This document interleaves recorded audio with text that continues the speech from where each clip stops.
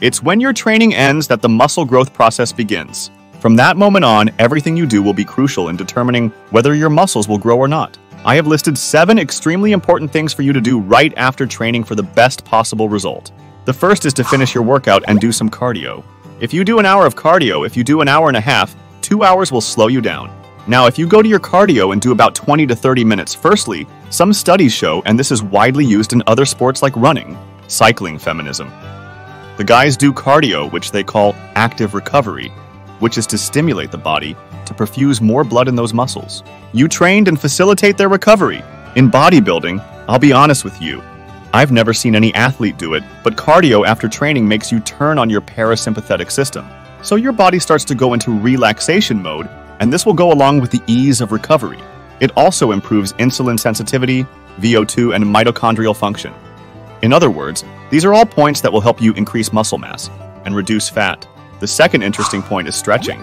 First, doing it at a good intensity will increase the hypertrophy stimulus because stretching causes tissue damage. If this tissue damage is at the right level, you will increase the hypertrophy stimulus. Second, when you train, you shorten the muscle you send to it. And the stretching stimulus is relaxation. That is, you shorten and then you lengthen. So what will happen to you if you shorten, shorten, and shorten? No, that doesn't happen! You start to lose range of motion, you start to shorten your movements, and range of motion is important for generating hypertrophy. Can stretching hurt you? Yes, but if you don't overdo it, a good sign is to notice that if you're hurting a lot, you're doing too much. There are people who stretch almost like Olympic gymnasts, and then it won't work. They'll get hurt. So we now move on to the third point. We're going to talk about contrast therapy. In contrast therapy, you create a contrast of stimuli in your body with cold and hot temperatures. You may have already seen an image of people diving into an ice bath on the internet. When you finish training, is your body hot or cold? How do you create a contrast in it?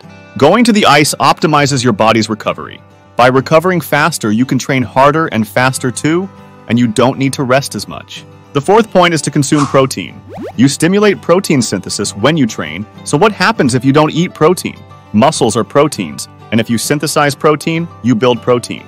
For that, you need to give your body protein, because it's not like a plant that you look at the sun and say, I'm fine. Guys, some studies show that people who added 20g of high biological value protein after training increased protein synthesis. Then the guys weren't satisfied. They gave 40g of protein, and the synthesis increased. That's why there's this whole story about taking whey protein after training, but there's another point here. Some people finish training and run out, almost desperate to take weight because they have the absorption window, and for the rest of the day, they don't eat protein. If you train and spend 8 hours after training without eating protein, you went there and trained, and the muscle wore out, right? It needs to go into recovery, doesn't it?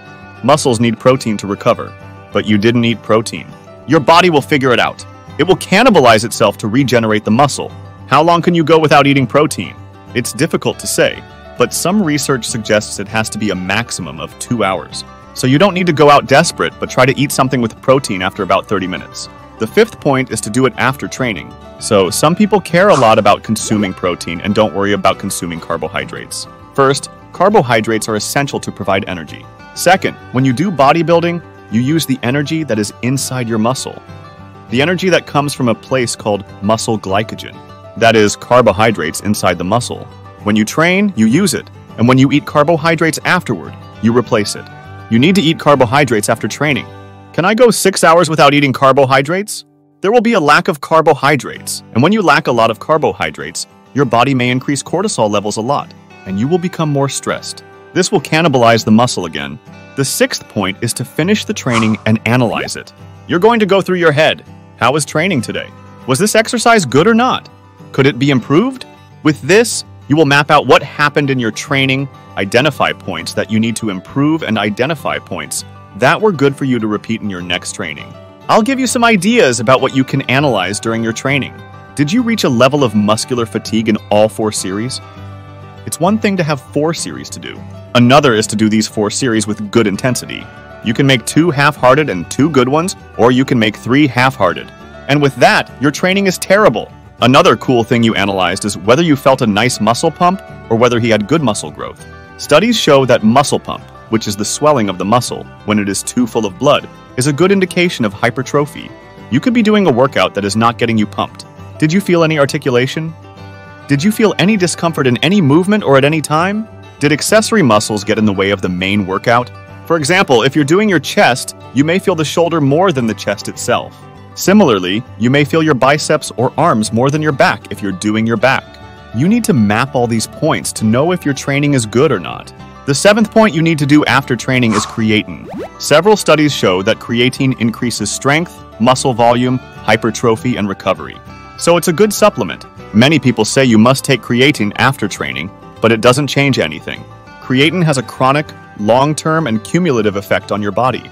So if you take it after training, if you take it at 6 in the afternoon, 2 in the morning, it doesn't influence anything. If you have done all seven things, you are guaranteed your result? No, because there are things you can't do before training. To find out, click on the video that appears there, where I show you the things you shouldn't do before training. So click on this video now because it will complement what you watched. Please leave your post-workout routine below in the comments, and if you have any good tips, be sure to share them below. Stay healthy, stay happy!